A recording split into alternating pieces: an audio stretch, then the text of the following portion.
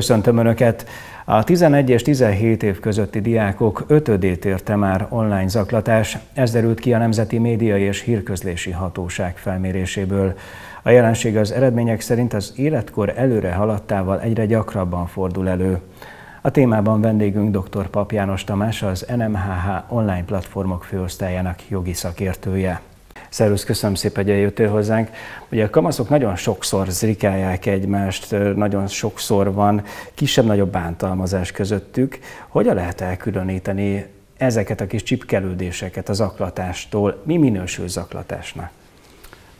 A zaklatásnak rengeteg formája van, akár online, akár offline térben. És nyilván alapvetően a kiindulási pontja az, hogy milyen súlyú és milyen komolyságú ez a zaklatás, és hogy mit, milyen érzést keletkeztet a, abban, akit zaklatnak. Ugye az, aki, aki csak úgy viccelődik, csipkelődik, azt valószínűleg a másik is ennek érzékeli, és ő is úgy vissza tud szólni, tehát hogy egyfajta ö, szinte mellérendelt viszony alakul ki közöttük, viszont az aklatás, ami mm, komolyan vendő és súlyos következményekkel járó zaklatás, ott nincsen mellé viszony, ott valószínűleg az egyik fél ártó, bántó szándékkal fordul a másik felé, aki pedig ennek elszenvedője, áldozata.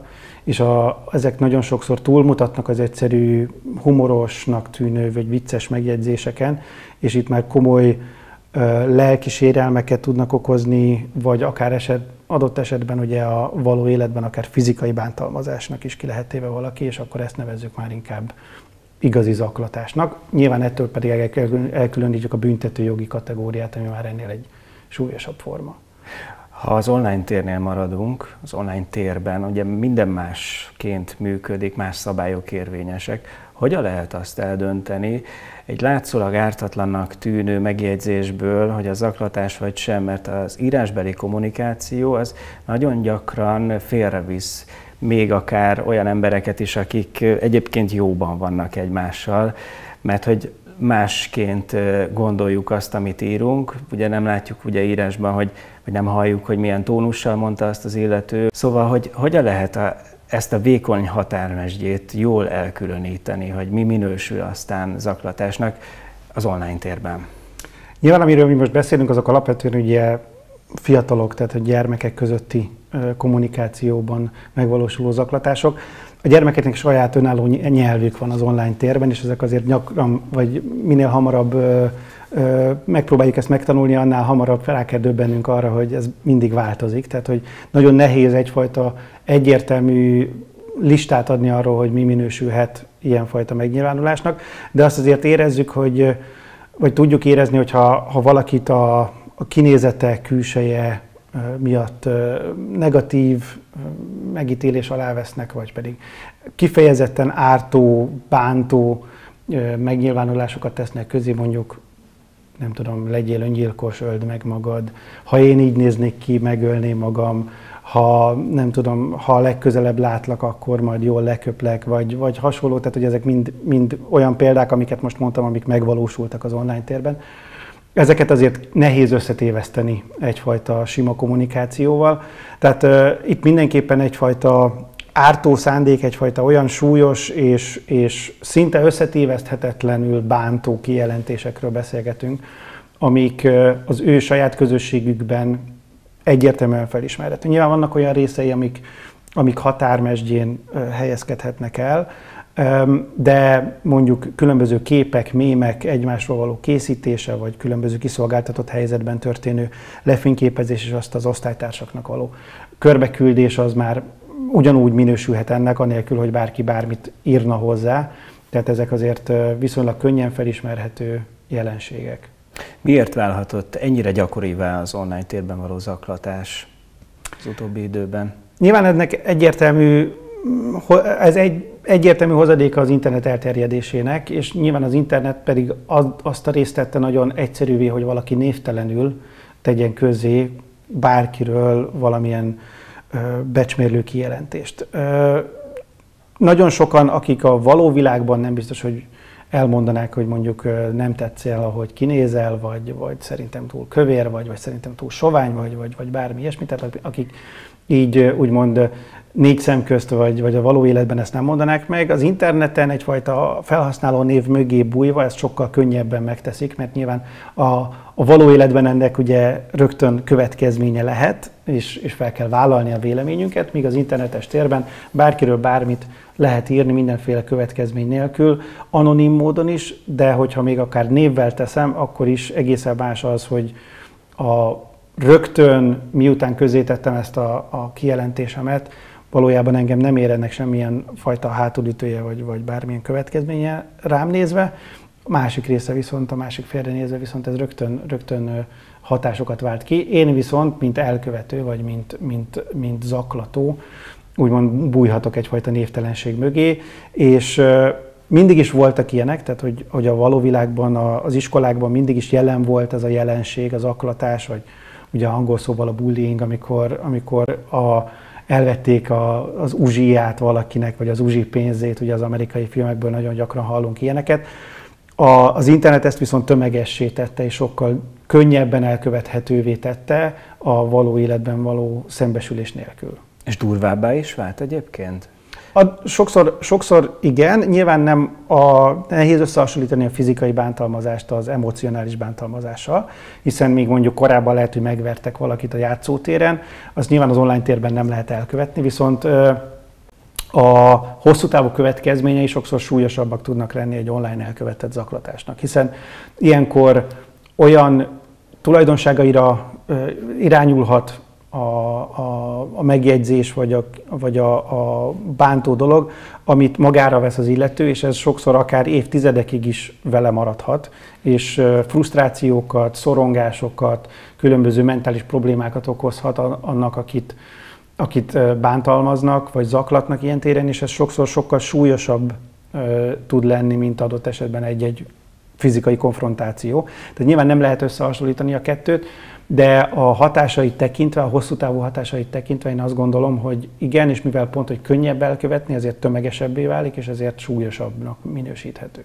Kik az áldozatok többnyire? Ezt azért kérdezem, mert a kutatás szerint például akik jobb anyagi helyzetben nőnek fel olyan családokban, ők gyakrabban válnak áldozat. Ez például mivel magyarázható? Igen, ez egy érdekes eredménye volt a kutatásnak. Eleinte mi sem értettük pontosan, de nyilván utána nagyon gyorsan rájön az ember arra, hogy nagyon szükséggel a jobb, jobb iskolázottságú, jobb anyagi háttérrel rendelkező családokban valószínűleg sokkal magasabb fokú az internet használat és az okos, okos eszközök el, elterjedése is, tehát valószínűleg a gyerekek sokkal többet interneteznek, sokkal többet használnak ilyen eszközöket. Ezért ebből következően valószínűleg magasabb mértékű között ebben a, ebben a környezetben is a, az áldozattá válás lehetősége is, hiszen az, aki kevesebbet tört az interneten, az nyilván keves, kevésbé van kitéve az online zaklatásnak. Viszont a kutatás arra is rámutat, hogy önmagában attól, hogy valaki használja az internetet, vagy többet használja az internetet, még nem biztos, hogy, hogy gyakrabban lesz online zaklatás áldozata, hanem az a fontos, vagy az a, a, az elhatároló tényező, hogy mire használja az internetet. Hiszen én használhatok egy okostelefont, vagy internetezhetek akár napi 6 órán keresztül is, hogyha mondjuk egy Netflixet nézek egész nap, akkor nem leszek online zaklatás áldozata. De hogyha mindenféle fórumokon aktív résztvevőként részt veszek, vagy az osztálytársammal nagyon gyakran levelezünk, messengerezünk, különböző osztálytársakkal vagy, vagy ismerősökkel csoportokban veszek részt, redditezek, Instagramot használok, stb. stb., akkor nagy valószínűséggel jobban kiteszem magam a negatív kritikáknak, így, így ebben a területben, vagy eb, ezen a területen sokkal nagyobb lehet a, az aklatás esélye is.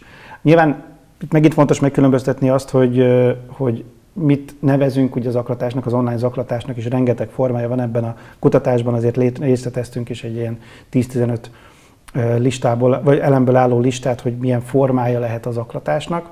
Néhányat felvillantasz ezen kategóriák közül? Vagy? Persze, alapvetően ugye, ugye létezik, létezik olyan, amikor valakinek a képmásával élnek vissza. Tehát, hogy valakitől csinálnak valamilyen fotót, valamilyen kiszolgáltatott helyzetben, öltözőben, bárhol máshol, vagy pedig manipulálják egy róla készült fotót, és akkor azt, azt osztják meg a környezetben.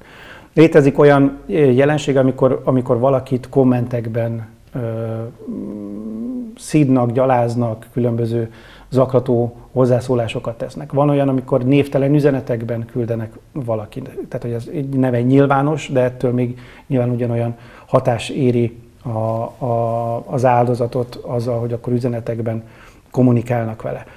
Létezhet olyan, amikor másnak adja ki magát egy, egy zaklató, és akkor félrevezeti ezt, és akkor mondjuk egy, egy érdeklődő, nem tudom, szerelmi kapcsolatot tettet, és akkor utána jól nyilvánosságra hozza az így érkezett üzeneteket, és akkor ezzel megalázza a, a, az áldozatot. Tehát, hogy rengeteg formája van.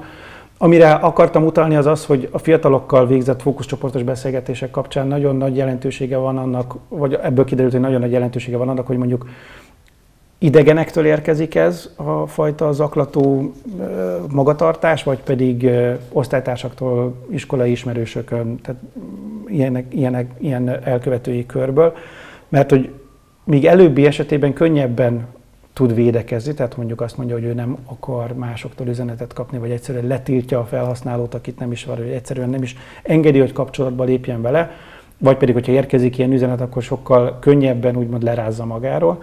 Míg azt, akitől ismer, vagy akivel egy közösségben együtt kell létezni, az ilyen környezetből érkező zaklatásnak, vagy gúnyolódó megjegyzéseknek sokkal súlyosabb hatásai vannak, hiszen ebből a, a való világban sem tud elmenekülni ebből a közösségből, hiszen ezekkel az emberekkel utána együtt kell élnie, és ennek sokkal súlyosabb következményei vannak.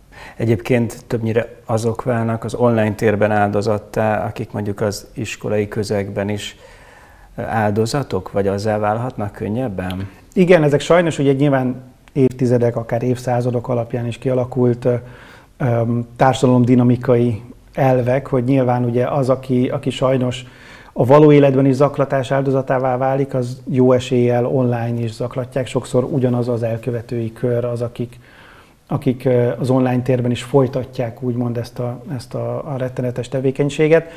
És egyértelműen ugye a csoportdinamika, meg egy különböző ugye ilyen csoportos helyzetek kapcsán az, aki kevésbé tudja megvédeni magát, aki egyébként is ki van téve az ilyen jellegű megjegyzéseknek, ő nagy valószínűséggel az online térben is ezt el, el kell szenvednie, még akkor is, hogyha ő az online térben esetleg egészen máshogy viselkedik. Mit tehet a szülő ilyen esetben? Egyáltalán milyen jelekből következtethet arra, hogy a gyermek áldozattá vált? Nem könnyű a szülő dolga. Nyilván ebben a, ebben a mai 21. századi média környezetben nagyon nehéz egyáltalán lépést tartani azzal, hogy, hogy, hogy hogyan tud a szülő ebben segíteni a gyermeknek. Az első és legfontosabb, nyilván egy kicsit már ilyen klisés vagy alapvető dolog is az, hogy a szülő-gyermek kapcsolata az egészséges legyen.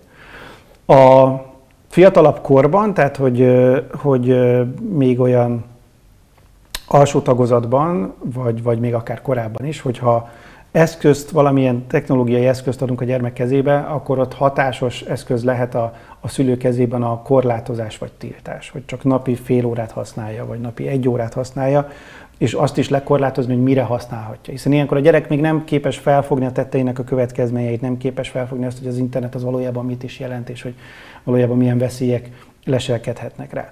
Később azonban tinédzserkorban már ez sokkal kevésbé egy alkalmas eszköz, hiszen itt már éket tud képezni a gyermek és a szülő kapcsolatában. Az, hogy a szülő az mindent folyamatosan tilt, miközben a gyermek meg úgy érzi, vagy hát itt már akkor a tinédzser úgy érzi, hogy ő kimarad a közösségéből, és tulajdonképpen egyfajta furcsa um, paradox helyzet alakulhat ki, hogy pont azért kezdik el mondjuk szekálni az osztálytársai, mert hogy ő neki mondjuk még nincsen telefonja, vagy ő, ő nincs benne a, a csoportos üzenetküldésben, és akkor ő ezáltal hátrányt szenved, holott a szülőnek meg pont az ellenkező lenne a célja, hogy megvédje a gyermekét ettől.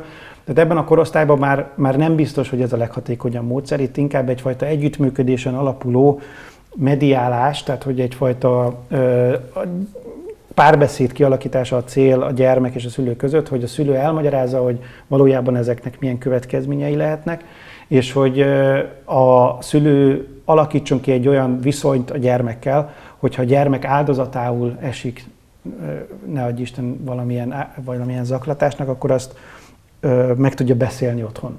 Érdekes eredménye egyébként, és kicsit talán ellentmond a percepciónak az, hogy a fókuszcsoportos beszélgetésekből az derül ki, hogy a, ebben a korosztályban a, a gyermekek is a szülőktől várnak segítséget, tehát hogy valójában ők is azt szeretnék, hogyha ezt otthon meg tudnák beszélni a szüleikkel. Csak félnek attól, hogy mit szólnak a szülők, félnek hmm. attól, hogy a szülők egyetlen megértik az ő helyzetüket, félnek attól, hogy a szülők nem hibáztatják a gyermeket, tehát nem egy áldozat hibáztatásba futnak bele, hogy akkor a szülők azt mondják, hogy mert miért csináltad ezt, meg azt, meg azt, és ezáltal egy, egyfajta bizalmi viszony nem tud kialakulni, tehát hogy a szülőnek elsősorban én azt gondolom, hogy ezen kell dolgozni, a másodszorban pedig nyilván ö, ami nem feltétlenül a szülő feladata, de az iskola vagy akár egy, egy, egy médiahatóság feladata is lehet, hogy, hogy a tudatosságot, a média tudatosságot fejlesz akár a gyermekekben, akár a szülőkben is, hogy a szülők is képbe legyenek azzal, hogy, hogy milyen veszélyek várhatnak a, a gyermekekre, és mi ellen kell esetleg tennie. De gondolom például, hogy gyermekviselkedésének a megváltozása az utalhat arra, hogy itt valami nincs rendben. Mindenképpen, hogyha ha igen, hogyha egy, egy jó viszony, egy egészséges szülő, szülő-gyermek viszony akkor a szülő minden rezdülését ér, érzi a gyermeknek. De hogyha otthon megváltozik, zárkozottabbá válik, ö, azt látjuk, hogy adott esetben még akár kevesebb internetet is használ, pedig korábban sokkal lelkesebb volt, vagy nem megy el a barátaival találkozni, e, iskola után egyből mindig hazajön, és nem vesz részt közösségi programokban, vagy, vagy akár egy osztálykirándulásra sem akar elmenni valódi indok nélkül, akkor nyilván sejthetjük, hogy ennek valószínűleg valamilyen oka van, és akkor itt, itt érdemes bizalommal és nem ítélkezően fordulni a gyermek felé, hogy ő, ő megossza ezeket a, a gondjait. Mert nagyon, nagyon lényeges, hogy a, még ha valaki áldozattá is válik, akkor utána azt, hogy ezt meg tudja beszélni és fel tudja dolgozni mentálisan, az lehet, hogy véget vet ennek a, a, a hatásának, és nem fog félni, nem fog szorongani ettől a továbbiakban, hiszen meg tudta beszélni otthon, hogy hogy valójában ezt hogyan kell kezelnie, és ebben elsősorban a szülő tud segítséget nyújtani. Nyilván, hogyha a szülőhöz nem mer fordulni, akkor akár az NMH, üzemeltetett, NMH által üzemeltetett internet hotlinehoz is lehet fordulni segítséget, vagy különböző más civil szervezetekhez, vagy, vagy különböző segélyvonalakon is lehet segítséget kérni, tehát nem csak a szülő, a, az, e, a, akihez lehet fordulni, de nyilván elsősorban azért az az ideális. Aki érzelmi támogatást nyújt, de például az NMH jogi segítséget is tud nyújtani adott esetben? Mert ahogy említetted, ugye különböző online platformok nagyon durva visszaélésekre adnak lehetőséget. Igen, ugye az NMH több fronton igyekszik felvenni a versenyt, úgymond ezekkel a, a veszélyes vagy veszélyt jelentő helyzetekkel az online térben. Egyrészt üzemeltetünk ö, több honlapot, vagy, vagy ismeretterjesztő oldalt, ahol, ahol uh, igyekszünk felhívni ezekre a figyelmet, tanácsokat, segítséget nyújtunk ahhoz, hogy hogyan lehet ezeket kezelni. Egyrészt az onlineplatformok.hu-n, ahol egyfajta tudatos internet használatra a, kívánjuk felhívni a figyelmet, másrészt akár a gyerekaneten, ami kifejezetten a kiskorúakra vagy a gyermekekre koncentrál. Ha pedig esetleg már megtörténik a baj, vagy valamilyen ilyen ö, zaklató zaklatás áldozata lesz valaki, akkor bizalommal fordulhat az NMH, üzemeltet, NMH által üzemeltetett internet hotlinehoz is, mivel a, az NMH-nak ugye nincsen hatásköre, ugye jogilag ezekre a, a, a területekre, így ő csak segítséget tud nyújtani, de azt mindenképpen nyújt is segítséget ahhoz, hogy egyrészt ezeken a portálokon, ezeken az online platformokon hogyan lehet bejelenteni az ilyen zaklató tevékenységet, hogyan lehet esetleg ezeket elrejteni, hogyan lehet olyan beállításokat üzemeltetni, ahol ezt tudjuk jelenteni. Ha pedig esetleg súlyosabb a helyzet, tehát hogy tényleg mondjuk büntetőjogi tényállás, tehát hogy tényleg akár szexuális zaklatás, akár tényleg életet fenyegető zaklatás történik, akkor pedig segítséget tudnak nyújtani abban, hogy akkor a rendőrséghez vagy, vagy más hatóságokhoz hogyan lehet fordulni ennek érdekében, hogy, hogy felgöngyölítsék ezt az esetet.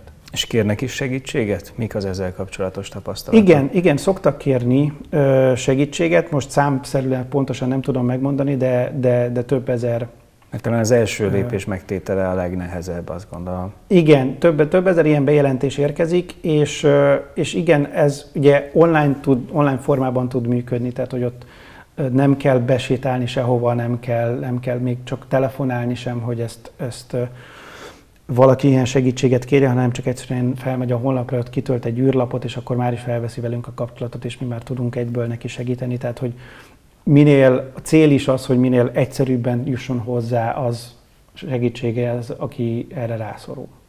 Azt gondolom, hogy nagyon fontos témáról beszéltünk, és még beszélünk is nagyon sokat a jövőben erről. Köszönöm szépen, hogy itt voltál nálunk. Nagyon köszönöm a meghívást.